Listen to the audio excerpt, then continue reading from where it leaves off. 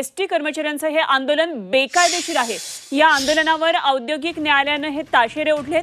S T कर्मचाऱ्यांना तातडीनं कामावर रुजू होण्याचे आदेश देण्यात आलेत आणि कामावर रुजू न झाल्यास गुन्हे दाखल करण्याचे निर्देश देण्यात आलेले आहेत. चित्रीकरण करण्याच्याही महामंडळाला सूचना करण्यात आलेल्या आहेत. मनोज कुलकर्णी आमचे प्रतिनिधी आपल्याबरोबर आहेत. आणखी माहिती जाणून घेऊया. मनोज या आंदोलनावर औद्योगिक न्यायालयानं ताशेरे ओढलेत. काय नेमकं म्हटलंय न्यायालयानं? अगदी बरोबर आहे. कालपासून अचानकपणे जे एस टी महामंडळाचे कर्मचारी आहेत आपल्या विविध मागण्यांसाठी ते कामबंद आंदोलन करत आहेत. ऐन गणेशोत्सव असेल किंवा सणा उत्सवाच्या अनुषंगाने हे सगळं होत असताना औद्योगिक न्यायालयाचा हा निर्णय आलेला आहे. आणि आता हा निर्णय जोपर्यंत अजून जो कर्मचारी आहेत त्यांच्यापर्यंत पोहोचलेला नाही अशी माहिती मिळते.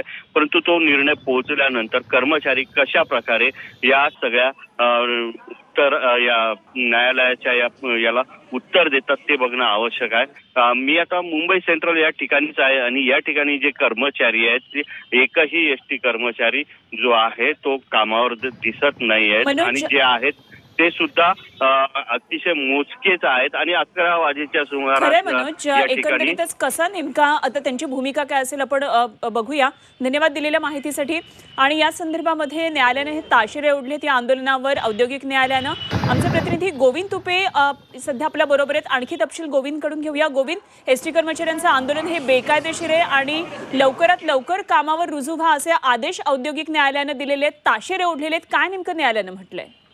नक्कीच काल औद्योगिक न्यायालयामध्ये एस टी कर्मचाऱ्यांच्या या संपाबाबतची जी सुनावणी झाली त्या सुनावणीच्या दरम्यान औद्योगिक न्यायालयानं परखड मत व्यक्त करत एस टीच्या ज्या कर्मचाऱ्यांच्या ज्या अकरा संघटना आहेत त्यांच्यावर ताशेरे ओढलेले आहेत आणि कामगारांनी तात्काळ या ठिकाणी कामावर रुजू होण्याचे निर्देशही न्यायालयानं दिलेले आहेत. विशेष म्हणजे जे कर्मचारी कामावर रुजू होणार नाहीत त्यांच्यावर तात्काळ गुन्हे दाखल करा.